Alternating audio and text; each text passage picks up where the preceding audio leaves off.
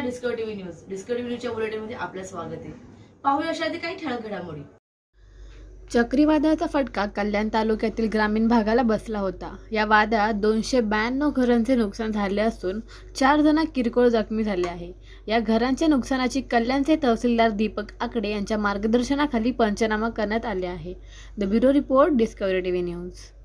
वादळाच्या अनुषंगाने तालुक्यामध्ये पंचनामे पूर्ण करण्यात आलेले असून आत्तापर्यंत दोनशे ब्याण्णव पंचनामे आमच्याकडे प्राप्त झालेले आहेत. घर आणि घराचे पत्रे या संदर्भातले जे काही नुकसान नुकसान आहेत त्या संदर्भातले पंचनामे करण्यात आलेले आहेत. चार लोकांची जखमी झाल्याची माहिती प्राप्त झालेली आहे. या होत्या डिस्कवर टीव्ही न्यूज तुम्हाला आमचे संपर्क साधत असल्यास स्क्रीनवर दिलेल्या क्रमांकाशी संपर्क साधू शकतात.